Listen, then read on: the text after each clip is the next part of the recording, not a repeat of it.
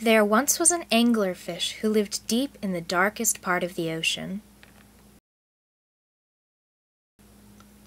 The anglerfish had a little light on his head so that he could see where he was going and to find food.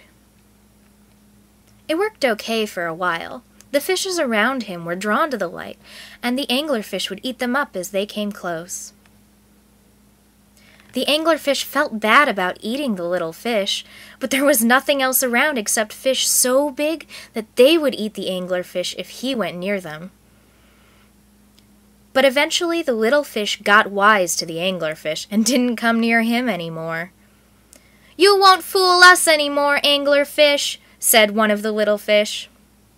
So the days went on, and the anglerfish grew hungrier and hungrier, and the ocean grew colder and colder. The anglerfish wandered aimlessly for months, not knowing what to do. Sometimes he swam in little circles. Sometimes he just floated in one place. Then, one day, the anglerfish saw a something in the distance, and he raced towards it. As he came closer, he saw it was food, delicious looking food that he had never seen before. It was like a gift from God. The anglerfish bit down hard on the food and savored its taste. It had been so long. Suddenly, the anglerfish felt pulled upwards.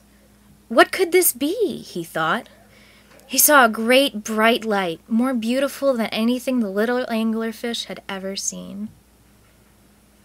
And as he got closer, he saw a strange figure like he had never seen. Is that God?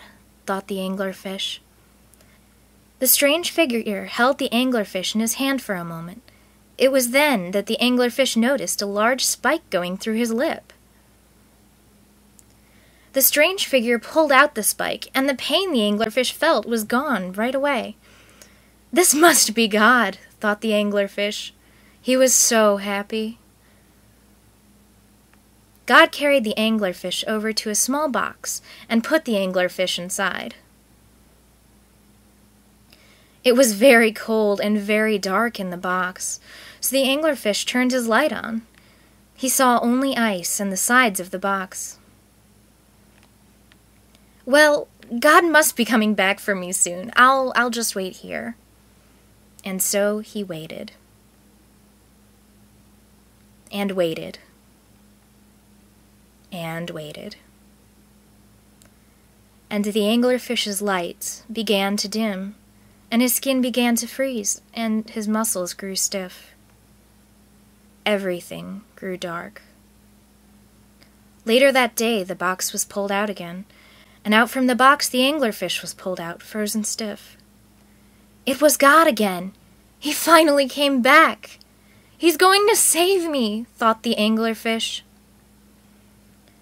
God set the anglerfish down on a table and grabbed a big, shiny knife. Finally, everything is going to be all right, thought the anglerfish. And then the anglerfish, frozen to his very bones, is hacked to pieces. The end.